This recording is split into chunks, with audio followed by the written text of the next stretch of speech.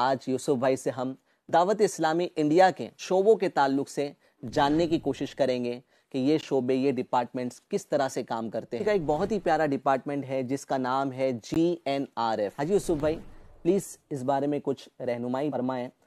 G N R F basically जो है वो रिलीफ का काम करता है। इसका मकसद जो है वो लोगों को रिलीफ पहुंचाना।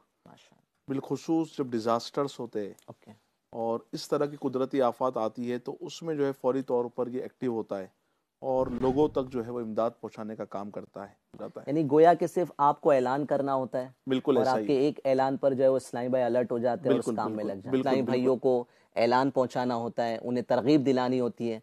इस तरह जो है माशाल्लाह कई जगहों पर दावत इस्लामी मदद पहुँचा रही है। इसके अलावा कुछ इन रमज़ान मुबारक में एक लाख जो राशन की किट्स जो है वो हम लोगों तक पहुंचाएँगे क्या बात है आपके डिपार्टमेंट जीएनआरएफ की। इस नोबल वर्क में मैं भी हिस्सा लूँगा। मैं चाहूँगा कि आप नाजरीन को मैसेज देते। रमज़ान अल मुबारक की आमद है।